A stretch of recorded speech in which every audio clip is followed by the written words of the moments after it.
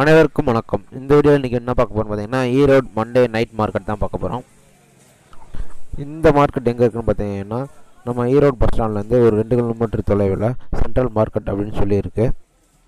இந்த மார்க்கெட் பார்த்தீங்கன்னா திங்கக்கிழமை இரவு ஏழு மணிலேருந்து செவ்வாய்க்கிழமை காலை ஏழு மணி வரை மட்டுமே இயங்கும். இங்கே பார்த்தீங்கன்னா உற்பத்தியாளரோட நேரடியான ஒரு விற்பனை தான் இங்கே நடக்குது. ஹோல்சேல் மற்றும் ரீட்டெயில்னு சொல்கிறாங்க ஆனால் ஒரு எண்பது சதவீதம் பார்த்தீங்கன்னா ஹோல்சேல் மட்டும்தான்.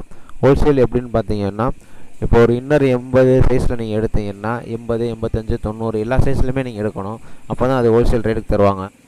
ரீட்டைல் ஷாப்புன்னு பார்த்தீங்கன்னா வெறும் ஒரு இருபது சதவீத கடை தான் இருக்கும்.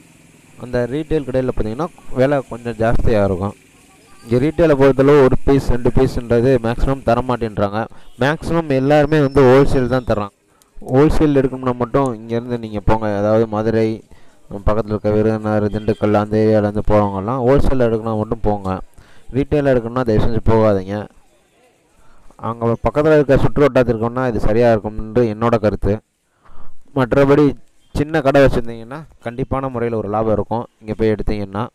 இந்த இரவு சந்தைக்கு எப்படி போகணும்னு பார்த்தீங்கன்னா ஈரோடு பஸ் ஸ்டாண்ட்லேருந்து இறங்கி அங்கேருந்து மினி பஸ் இருக்குது அதாவது ஜங்ஷன் வர போகுது அந்த ஜங்ஷன் பஸ்ஸில் ஏறினீங்கன்னா உங்களை இந்த சென்ட்ரல் மார்க்கெட்னு கேட்டிங்கன்னா இறக்கி விட்ருவாங்க இங்கே போய் நீங்கள் ரீட்டைல் எடுக்கணும்னு நினச்சிங்கன்னா கைலி மற்றும் இன்னர் வேர் இந்த இதெல்லாம் நீங்கள் எடுக்கலாம். அதான் ரேட் கொஞ்சம் கம்மியாக இருக்க மாதிரி இருக்குது மற்றபடி பார்த்தீங்கன்னா இந்த சின்ன கடை வச்சுருக்கவங்களுக்கு இந்த சந்தை வந்து ஏற்றது தான் அதில் ஒரு எந்த ஒரு மாற்றமுமே கிடையாது.